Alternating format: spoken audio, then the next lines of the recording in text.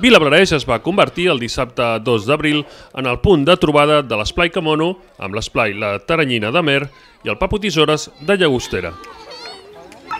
Els tres esplais de la demarcació de Girona estan adherits a Esplac i aquest any s'han format com a sector, el sector Girona. Durant la trobada, que s'ha treballat durant un any, es van parlar de les activitats que es faran conjuntament i, de fet, ja hi ha esdeveniments programats per aquest abril i maig. L'objectiu és compartir experiències i que els infants coneguin a nens i nenes com ells que gaudeixen de l'esplai cada dissabte.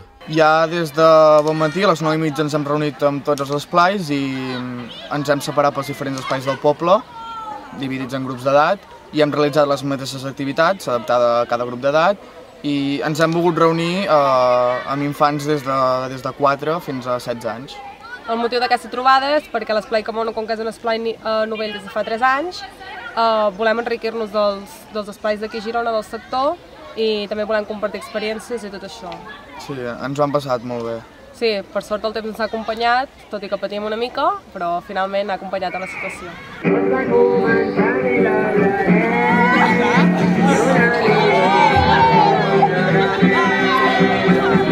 Acabar, van gravar un videoclip de la cançó del sector Girona.